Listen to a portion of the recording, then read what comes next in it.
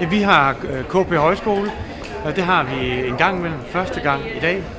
Og øh, der har vi lyttet til Søren Roy Thompson, forfatteren, chefaktør Rune Lykkeberg og idehistorikeren Nita Christensen.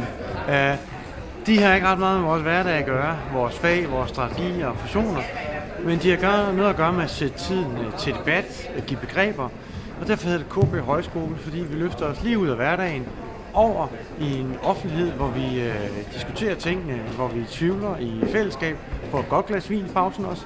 Øhm, og det kommer vi til at gøre, hvad hedder det, rigtig mange gange mere i år, og forhåbentlig rigtig mange år fremover.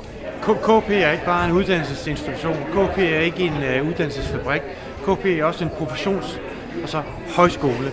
Og øh, en højskole og en højskole, der skal man turde tage, hvad hedder det, de er også lidt, øh, hvad hedder det, øh, åndfulde, øh, de er svære, øh, de store øh, anlæggende alvorligt, og det gør vi, øh, både når de viser sig i små, sjove, skæg temaer, men også når øh, der er store vilde overskrifter som, øh, hvad hedder det, Brexit, Trump osv. osv.